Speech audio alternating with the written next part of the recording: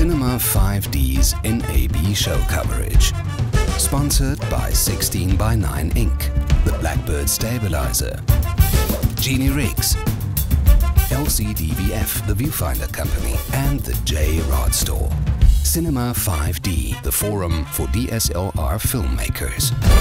This is uh, Tonis from LCDVF here, and here we have our new electronic viewfinder. This, unfortunately, is not working right now. It's, it's, it's still in its prototype form, but this is how it will look like.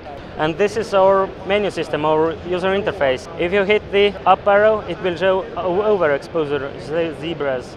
Under zebras, peaking, economy mode, and this little uh, magnifying glass. It magnifies the signal to one-to-one -one pixels, and you can position the zoomed in portion with these arrows and always recall this position and zoom level with this OK button.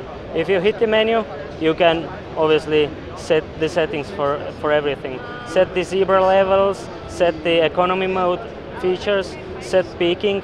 Peaking is black and white image and uh, red, red overlay peaking, and peaking is animated. We have this HDMI pass-through with audio, so everyone who wants to who wants to record with Atomos Ninja or any other external recorder can record audio too.